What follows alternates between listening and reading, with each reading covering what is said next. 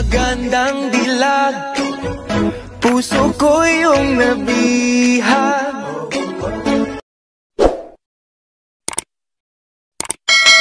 Hello, what's up?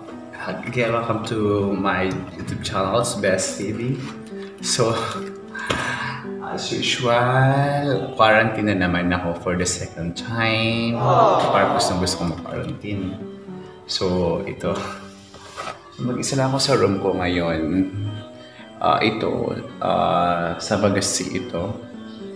Then, ayan, thank you to my sister. Ayan, nagpadala na siyang food ko.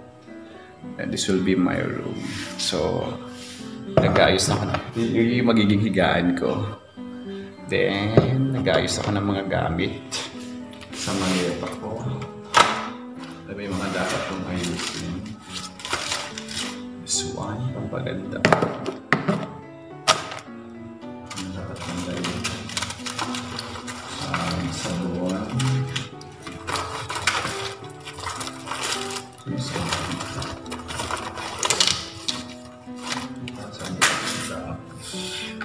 So, yung sabon.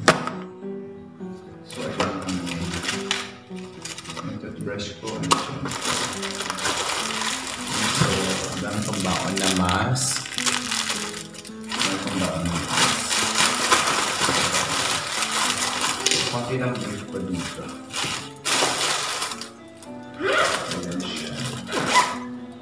Ayan konti lang din damit ko.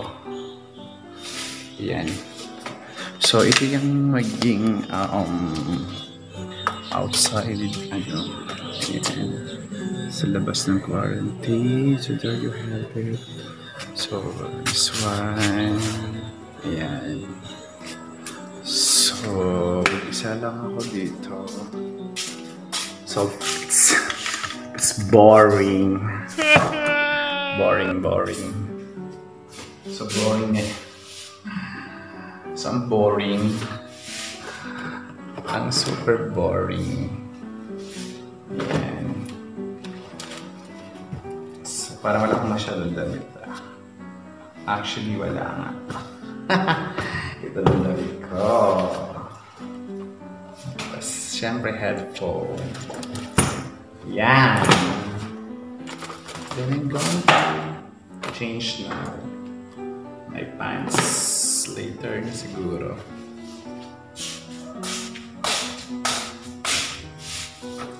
Tsaka walang kuryente dito. Walang kuryente dito sa Magasi. Sa Magasi ako ngayon, walang kuryente.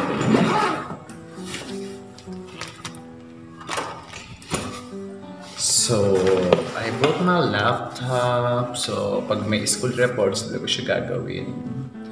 So, what else? Ah. So, pinadalhan ako ng food ko. Hanggang mamayang gabi na yung food, yung food ko na yan. May coffee na, may tubig, may bread, may tasty bread na rin. Ayan. Then, ano pa ba? So, I have my toothpaste na So, walang kutsyon, wala pang ilaw. Yan na, bye na. So, update ko kayo sa next vlog ko. Bye-bye.